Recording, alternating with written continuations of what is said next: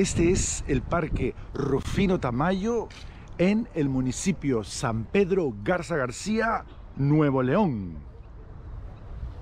Muy bien, señores, entonces vamos a empezar esta bonita caminata en uno de los parques más bonitos de el municipio San Pedro Garza García en la ciudad de Monterrey, ¿no? El, el estado de Nuevo León.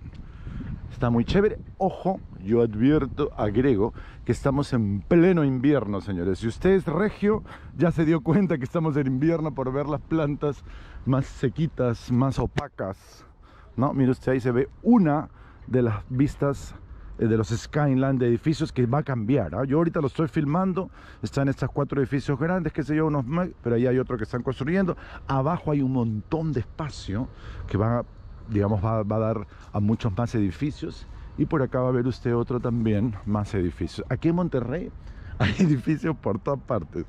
A donde usted ve, ve dos cosas, ve cerros, ve montañas o ve edificios. Y eso pues está muy bueno porque esos edificios no solamente son desarrollo, sino estabilidad económica para sus habitantes. Este edificio que está viendo acá es el Norte. Es el segundo edificio más alto de Latinoamérica en este preciso instante. Porque ahora en Latinoamérica, al igual que en el Medio Oriente, y gracias al capitalismo, tenemos que decir eso.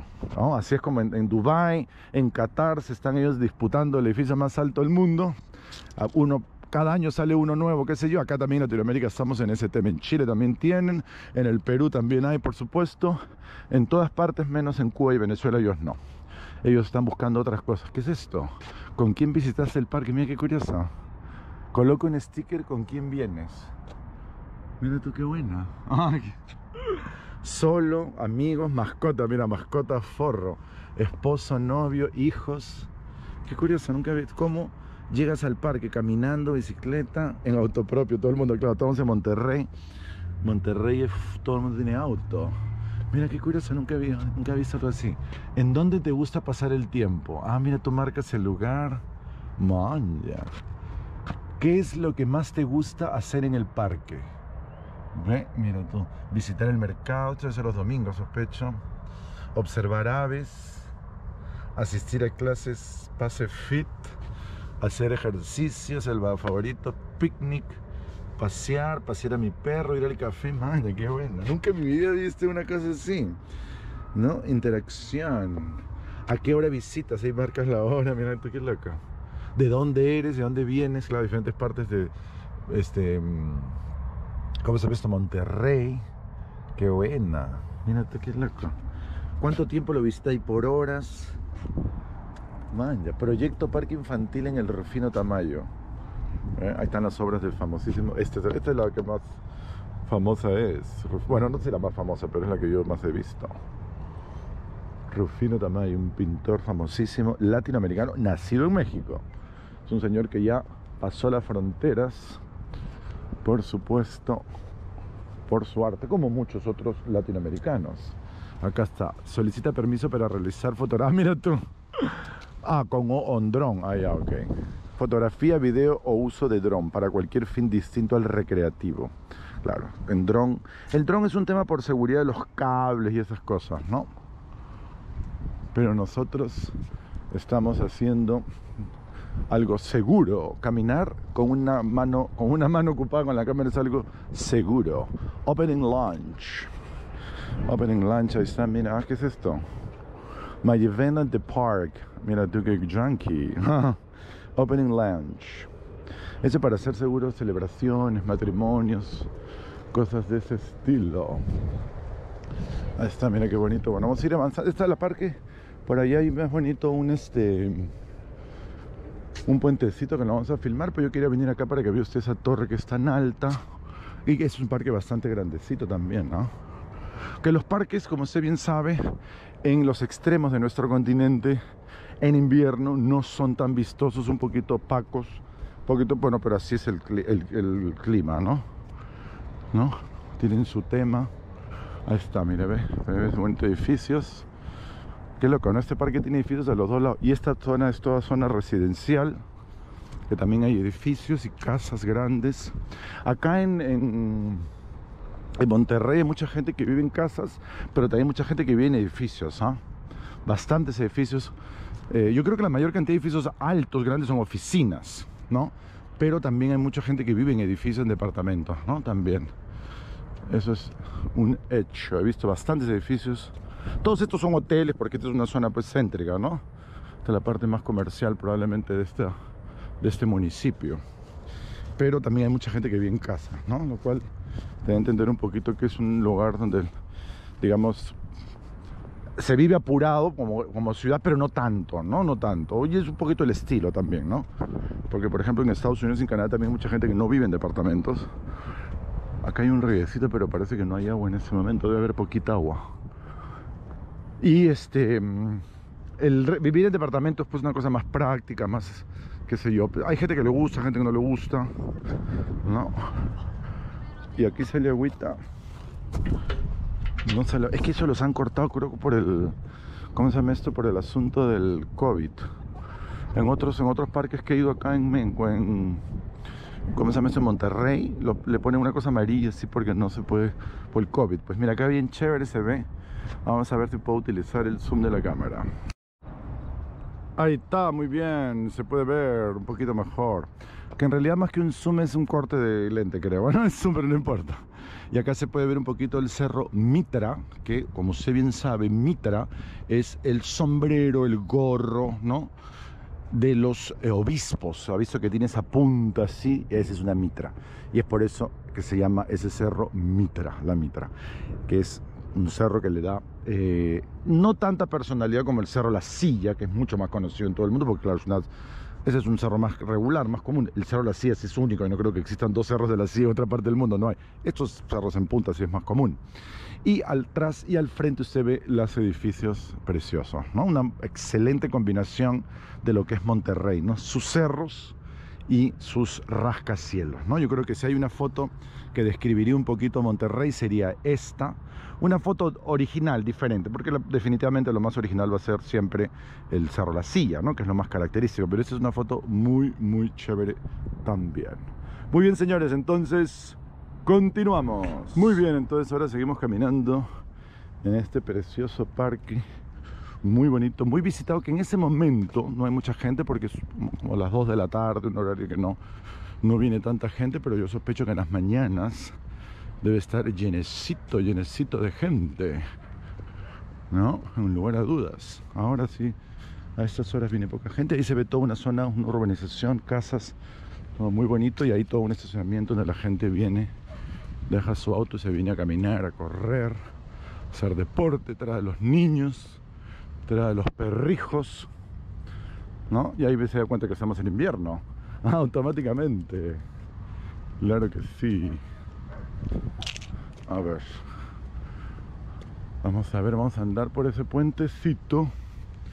Vamos a caminar por acá también. Mira que se ve todo bonito para que usted vea cómo está el asunto. A ver, acá está. Parque Gimnasio, Proyecto Gimnasio. Mira, van a hacer nuevas obras. Aparato de entretenimiento, acceso al gimnasio, plataformas de salto. Ahí está. Hay un bonito puente que se ve muy chévere. Todo de metal mira qué bacán. Donde comunica una segunda parte de este parque tan bonito. Algo me comentaron que por aquí habían también estos eh, candados para amarrar el amor romántico ahí está, se ve muy chévere muy bacán y se ve por supuesto los edificios, ¿no? Una bonita vista. Por acá hay un río, pero que, bueno, como no es temporada de lluvia, está, hay agua, pero muy poquita. Seguro que esto debe estar cuando cae agua, pues llenecito de agua, de borboteante de agua. ¿No? Está muy bonito este parque. En invierno los parques son diferentes, como bien sabemos, pero estamos rodeados esto es el parque, uno de los corazones de las, vamos a decir así, ciudades más eh, ricas, adineradas y de mayor poder adquisitivo de todo Latinoamérica. ¿No? Mira, acá hay para llenar su botella de agua. pero esto está todo, no, está operativo por el tema de el eh, COVID, que por supuesto eso existe. Uy, ahí están dando unos claxons. Muy bien, señores, entonces yo creo que ya más o menos les hemos filmado lo más importante. Hay también su parquecitos, perdón, su, esto parece que hay para jugar qué cosa acá. Fútbol, no creo, es el golf. Porque en estos barrios el fútbol como que no es muy practicado, el golf es más practicado. a ver, vamos a ver qué bonito los árboles amarillos. No, este es un parque para perritos, claro. No acá que van a practicar deporte, pues este es un parque para entretenimiento, para estar, no es para tener una actividad. Claro, estos son parques que acá en México es muy común, ¿no? En todas, muchas partes, una sección del parque, ¿no? Ya ponen su reja alrededor y este y ahí traes a los perritos. Entonces la gente que tiene sus perritos viene y se relaja realmente, pues, ¿no? No tiene que estar eh, cuidando al perro que se te escapa, que muerde a un bebé, que qué sé yo, o a otra persona. Entonces ahí entre perros y ahí los perros, está bueno porque los perros se acostumbran, pues, ¿no? Se acostumbran ya, digamos, a estar ahí tranquilitos. Y acá, mira, mira tú, los chicos están jugando, están pasándose la pelota como el tema del béisbol. Mira tú qué curioso. ¿No? Que es una práctica que no, al menos por ejemplo en el Perú no vas a ver jamás en un parque la gente con, con los guantes de béisbol y jugando nada que ver. Entonces, ¿cómo se nota que estamos en Norteamérica? Claro que sí. Muy bien, señores. Entonces ahí creo que después hay terrenos donde van a estar probablemente muy pronto construyendo edificios, más edificios, porque el desarrollo es así. Cuando una sociedad, en este caso, manja, mira esto. Esto es una hormiga que está llevando, mira. Y hay varias, ¿ah? Mira el perrito está ahí. Ajá. Hay varias. Acá hay otra. Esas hormigas gigantes, ¿ah? Qué loco, hay varias más hormigazas. Llevan este. ¿Cómo se llama esto? Hojas. A lo que iba es, cuando una sociedad ya se entera, se da cuenta, conoce la receta del éxito basada en el proyecto de vida del individuo, en la acumulación de riqueza, que no afecta a nadie, porque acumular riqueza no afecta a nadie, a menos que usted sea envidioso. Mira qué es esto. Estas cositas de colores, ¿qué será? 6 de mayo, no sé qué será esto. Y aquí, bueno, esto es una, un homenaje a alguien en particular, ¿no? Hay un señor, unas virgencitas. Mira qué curioso. Em, el proyecto de vida de cada persona ¿no? Comienza a desarrollarse eh, una ciudad, la gente le encuentra el gusto, que yo creo que lo que está pasando en, ¿cómo se llama esto? En Monterrey es imparable, ¿no? Ya no hay retroceso, no hay retroceso. Cuando es sólido, ¿no? Cuando es un poquito efímero, cuando es un poquito así como que forzado, ¿no? Por una dictadura militar en un país del sur, eso puede ser enclenque y tarde o temprano un discurso equivocado, pero convincente por el odio de las personas y por la división social, eh, fecunda, ¿no? Y aparece el estallido social y ya sabemos toda la historia. Pero cuando hay un desarrollo como el que hay acá, es mi lectura, puedo ser equivocado, cuando hay un desarrollo que hay acá que es tangible, se ve, ¿no? Y está conformado en su gran mayoría por migrantes que han venido a través de los años, digamos, la gente ya lo valora más, ¿no? Creo yo, ¿eh? creo yo, esa es una conclusión que llego yo después de estar ya caminando algunos días en esta ciudad tan pujante, tan desarrollada, ¿no? Que los que amamos México y que, bueno, yo he trabajado para una compañía mexicana enfocada en el turismo, aunque no tanto, porque Aeroméxico, cuando yo trabajaba en Aeroméxico para ellos, mexicana era la, que traía más turistas a México y Aeroméxico más ejecutivos. Y yo traíamos más ejecutivos de Perú, de Chile, de Argentina, de Brasil hacia México y se vendía bastante en Monterrey. Pero nunca me imaginé que iba a ser tanto desarrollo, ¿no? Uno cuando ve la foto de Monterrey ve como que un grupo de edificios, pero acá hay edificios por todas partes, ¿no? Entonces cuando ya tienen una ciudad que ha crecido de esa manera sólida, así, grande, es bien difícil ¿no? Que las garras de la envidia de la izquierda les vayan a cambiar la manera de pensar, ¿no? No van a creer, pues, ¿no? Van a comenzar a espantarse y decir, ay, quieren hacer Venezuela acá de nuevo, o Cuba, ¿no? En cambio, en otros países donde no es tan estable, o es nuevo, o fue impuesto con una dictadura militar, las ideas de la libertad, por más que sean ideas buenas, fue impuesta por un desgraciado, pues pueden caer en un gravísimo, gravísimo error que es la envidia y la división de la población, ¿no? Y creer, creer que hacer negocios es algo malo, ¿no?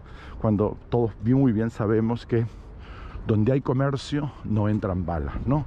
Una de las mejores formas que el ser humano sea apaciguado y que ya no vive en constantes guerras, en constantes conflictos tribales y todo ese tema es el capitalismo, ¿no? Mucha gente está equivocada y cree que el capitalismo trae guerras, no señores. Lean ustedes la historia de la humanidad se van a dar cuenta que es al contrario. El ser humano se ha peleado más por crearse con la razón que por tener riqueza. Muy bien, señores, entonces, ahora sí terminamos este pequeño video diciéndole lo que le digo en todos los videos. Nos vemos en un siguiente video. Adiós.